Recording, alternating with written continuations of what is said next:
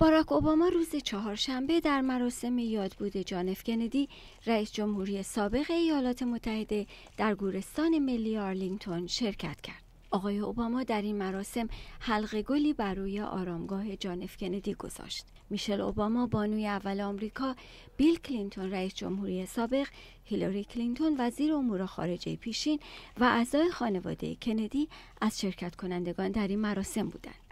رئیس جمهوری ایالات متحده جان اف کندی را خدمتگذاری فوقالعاده خواند که دیدی وسیع داشت و در آرمانگرایی متعادل بود روز جمعه زنگ کلیساها در دالاس شهری که جان اف کندی در آن ترور شد نواخته می شود و مراسم ویژه‌ای در بسیاری از شهرهای بزرگ کشور برگزار می شود.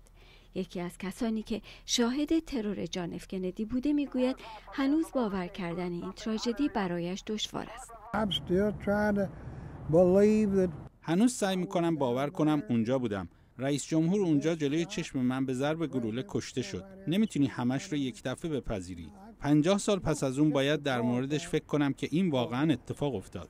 جان اف کندی در سال 1961 به ریاست جمهوری ایالات متحده آمریکا انتخاب شد. 35 امین رئیس جمهوری آمریکا 22 نوامبر سال 1963 میلادی و پس از حدود هزار روز ریاست جمهوری در حالی که همراه همسرش ژاکلین کندی در اتومبیل روبازی در شهر دالاس ایالت تکساس حرکت می کرد توسط لی هاروی اوزوالد به ضرب گلوله ترور شد و در 46 سالگی درگذشت. هنوز بعد از گذشت 50 سال کسانی در این کشور بر این باورند که لی هاروی اوزوالد در ترور جان کندی به تنهایی عمل نکرده است.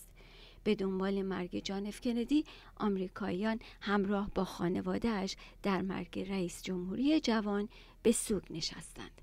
نازی پویا صدای آمریکا